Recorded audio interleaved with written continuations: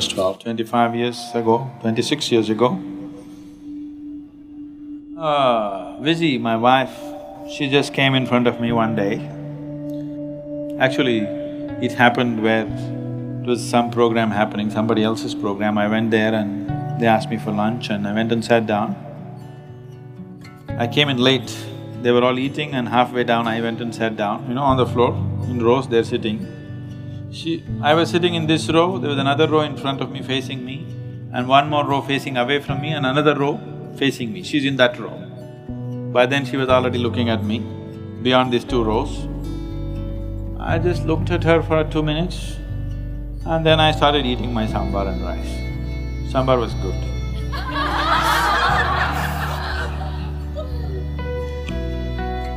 Then everybody com started completing their meals before me because I came in late and I was eating late. Then she finished her meal, she washed her hands, she came and she sat in front of me and burst out crying. So I didn't look at her, I kept on eating.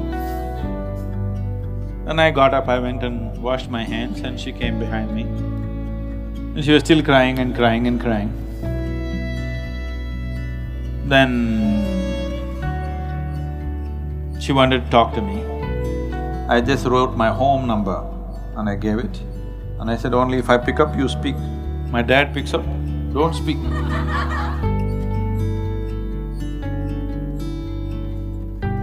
One day uh, when we were talking, I mean, usually in the evenings, uh, once my husband used to go to the pharmacy, we used to sit on the steps and uh, discuss so many things. Uh, that particular day, he told me uh, he met one girl, her name is Vijji, and I'm, I, I want to get married to her. So I told her, uh, where is she, where is, she's from, how does she look, uh, she, he said, No, I will bring her and introduce to you, and I want to inform my parents also. Uh, this is I am informing you. so I told her, uh, We will be very happy because we will have company more than a friend. She'll be my co sister. So I was very excited and eager to meet her. So I, I think after some time, uh, he brought her to the shop where we have a medical store in Kalidasa Road.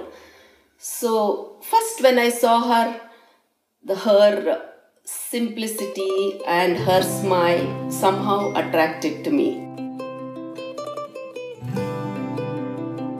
And much later, I did not even know that uh, that day it was a festival and uh, me and Vijji, we just rode up to Iruppu where there's a waterfall and a small Rameshwara temple. And when I went there in the evenings, I saw one of the quaintest arrangements that you can see, all green fronted, small, small shops and little, little things.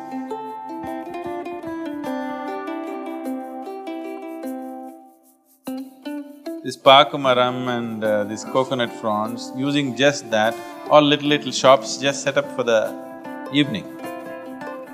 So this thing just was so enchanting. And then I asked, what is this all about? Then they said, it's Mahashivratri today.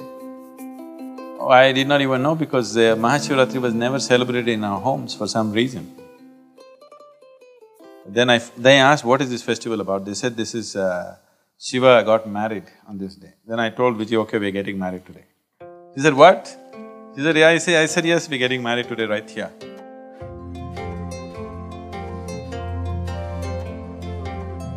They said, no, we've not told anybody. I said, no need to tell anybody, I'm telling you. and we just got married right there.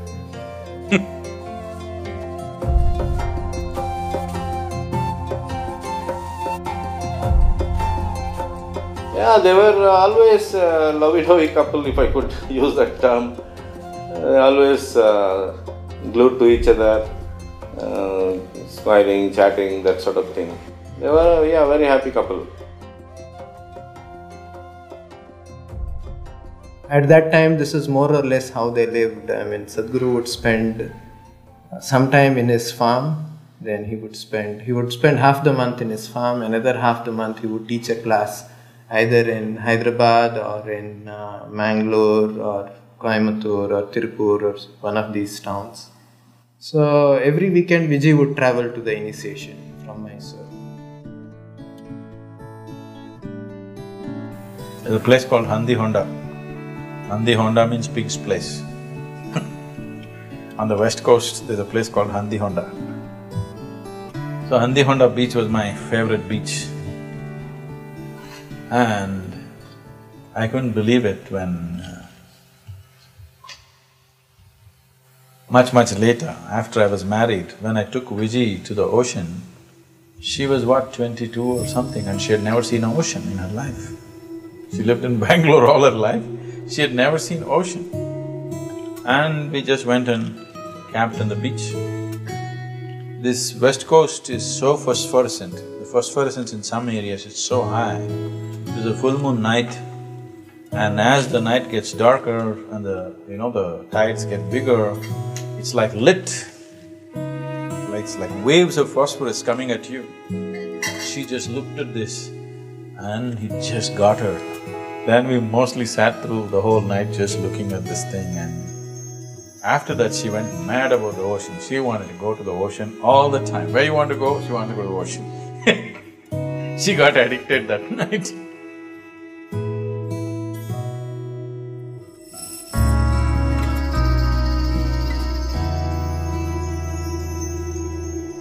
I mean, whoever knew uh, Sadhguru or Vijji, they always knew them as Jaggi and Vijji.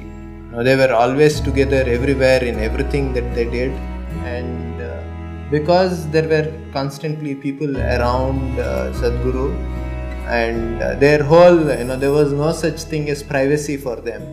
So it would be all kinds of talk when you are there. It would be all kinds of talk, and they you know it was almost that you didn't exist there and everything that needed to happen needed to happen. And constantly there was you know so many things would come into focus which uh, you know you can also say it's a part of the spiritual process which would generally happen in a spiritual process.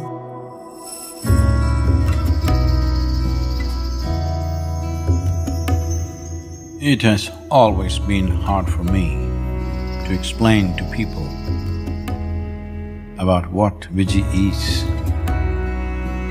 When I say Vijji, I am not referring to her either as my wife or as a woman. Even as a being, she has always been truly wonderful in my experience. But as many of you know, she is a person of very intense emotions. In her childlikeness, she never knew what should be expressed or what should be held back in a group of people. Whatever emotions were within her always found expression irrespective of the situation. Now this Mahasamadhi the ultimate aim of all spiritual seekers. She has attained. She has attained with such effortlessness and has proved her worth. To throw this life out of this body without enjoying the body, it takes something else. One has to generate tremendous amount of energy which requires intense sadhana she knew the methods to achieve this and she was working towards this.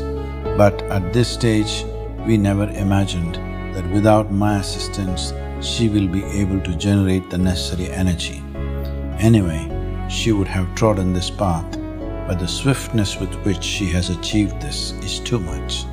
She made this possible with her love, probably the only thing she knew. All her life, she was very proud that I am her husband. Today, I have to say that I am extremely proud that I happen to be her husband. And above all, this is all the intensity that you look for in every disciple around you. As a guru, this is of immense value too because it is this level of intensity that you always look for. That's Vijji.